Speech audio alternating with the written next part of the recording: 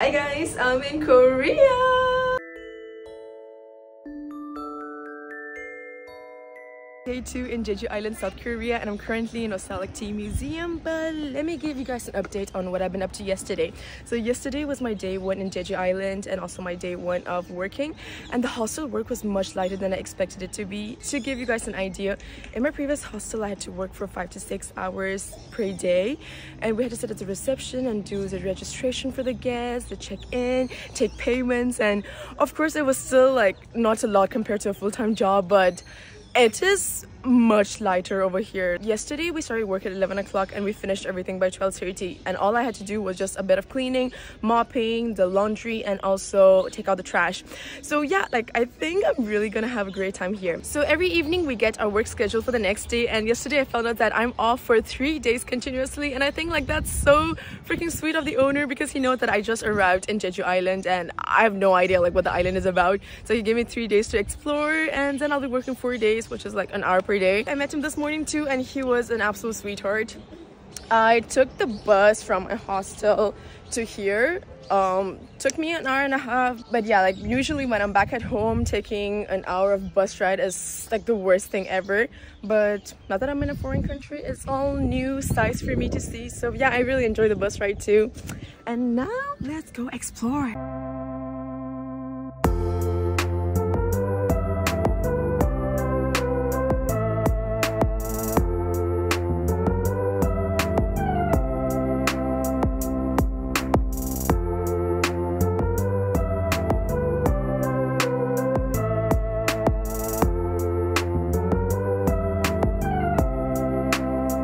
I just finished shopping in Innisfree and let me show you guys what I got. I spent a total of 58,000 for this whole bag which when you think about it I bought four items. So I guess it was pretty reasonable. Like after all it is a Korean brand. So firstly I got a body wash.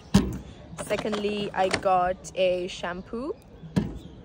Thirdly i got a conditioner. So they're not called as conditioner over here. They're called treatment. So yeah i asked the staff and she showed me this one and lastly, I got a hair serum. I had shampoo, conditioner, and all these things back in China, but I just didn't feel the need to bring them along because they're quite heavy and I'd rather my luggage be filled up with clothes than with all these liquid items. So yeah, I'm happy I got them and now I can feel like a true local here who's all high maintenance and pretty and cute. So I'm headed back to my hostel now and I just want to show you guys the surroundings so this is where my hostel is located and right opposite there is a convenience store. Nice to see you. Here are all the shops which is essential. Um, there's a lot of supermarkets restaurants cafes massage centers and the roads here are just so pretty especially at this time of the day. So now we're at the hostel where i'm staying in slash working at. There's a nice mirror for doing fit checks. You guys know how much i love that. And this is the staff only area. So our work shift starts at 11 o'clock every single day. So by 10 30 all the volunteers gather here to get breakfast, drink coffee, and just communicate with each other. Here is the stairs, so I'm living on the third floor. This is my bed. I got the biggest bed in the room, and here are my roommates' beds. And there's another mirror for fit checks. I also do my makeup right over here.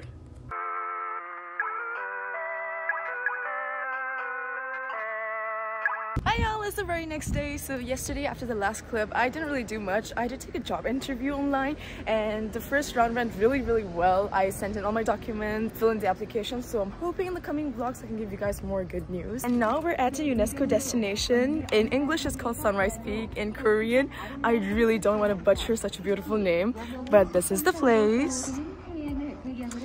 This is the mountain formed by hydrovolcanic eruptions and there is the seaside.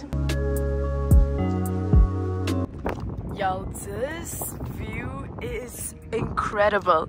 I don't think the phone camera does it enough justice, but that is beautiful. That is beautiful. you can see the water glistening. Um, there's somebody fishing right there, and yeah, this whole neighborhood area is just so colorful and bright. Uh, so many cute cafes. I generally don't know which one to choose.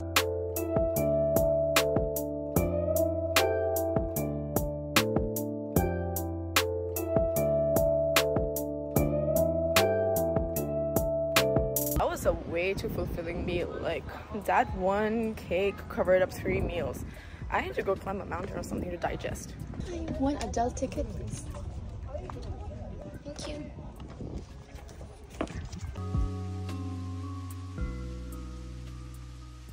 Oh my god, I can taste chocolate in my mouth when I burp. Telescopes are fucking insane. I looked into that thing and I could see the family dining right over there. Like, I could see what was on their plate. That is equally impressive and concerning. Try to stabilize my phone to take a video of me climbing up the stairs and I accidentally cracked my camera. Please cooperate and promote many times. 真诚的欢迎各位游客的到来。长山日出峰在二零零零年被指定为天。 Y'all, look at the sand. Oh my god, it's so crunchy too.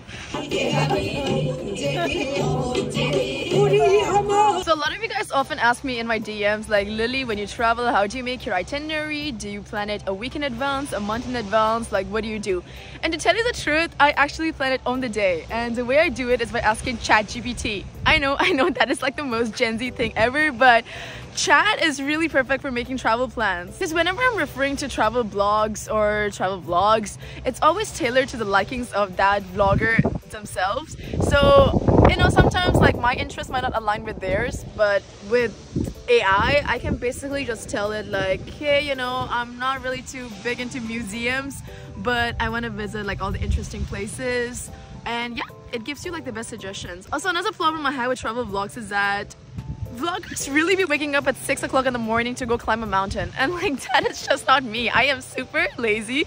So the earliest i can wake up when i'm traveling is like at nine right? So yeah like with that i can also mention it to Chad and i'd be like hey girl like i'm kind of lazy. Um i like to start off my day mid midday so can you make me a plan for the day so yeah if you guys are lazy travelers like me or if there are things which don't interest you while you're traveling, then just use AI to plan it. So I asked AI today where I should go after this UNESCO spot and it said there's a Manjanggul cave which is very nearby supposedly. So um, I'm gonna search up the route and after that I'm thinking of visiting Teddy Bear Museum. I just looked at the pictures and they're so fucking cute. Uh, like basically all the main, all the famous paintings that you know of they have those paintings in that museum but in teddy bear form. So that is so adorable. But the thing is that um that museum closes at six o'clock and it's currently 2:30. so i hope i'm able to squeeze two places into today's agenda. Because in the evening i have another english course to teach. And i'm kind of like doing a not too good job. Not with the teaching itself but with my time management the other day i misremembered the timing for one of my students lessons and yeah, I was late 20 minutes to the class.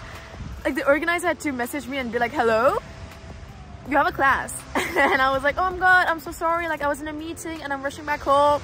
I was literally on TikTok. So yeah, that's something I need to work on. Now I'm gonna chill here and just watch the sea for a few minutes before getting on the go again to go to this magical cave.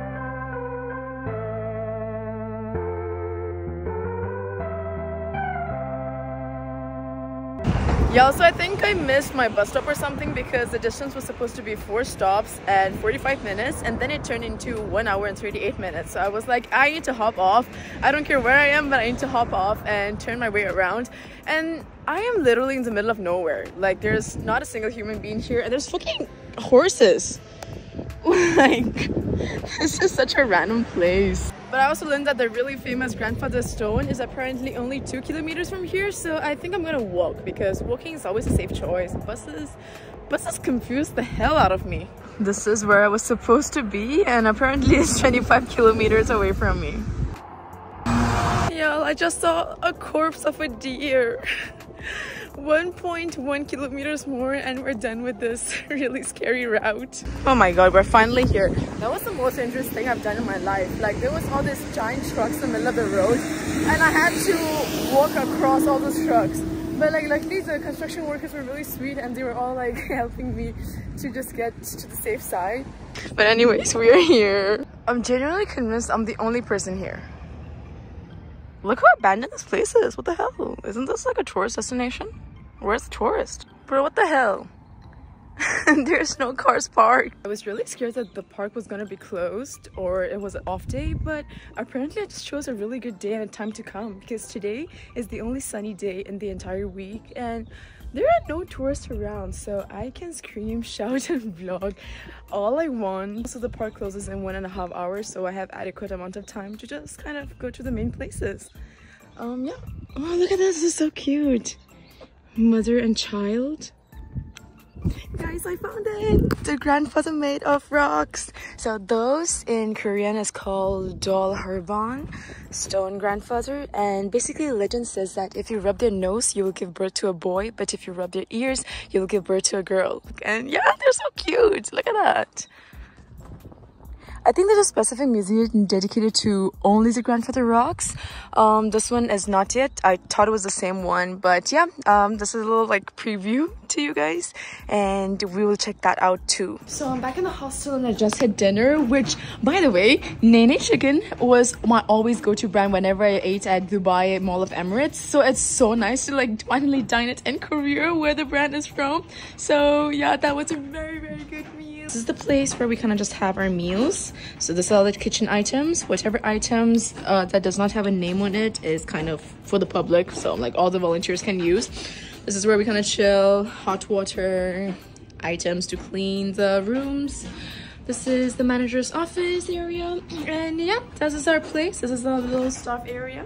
And our work schedule is all written here uh, I need to run now because literally in a few minutes I need to start my online teaching lesson. So I'm gonna run now and I'll see you guys in my next vlog.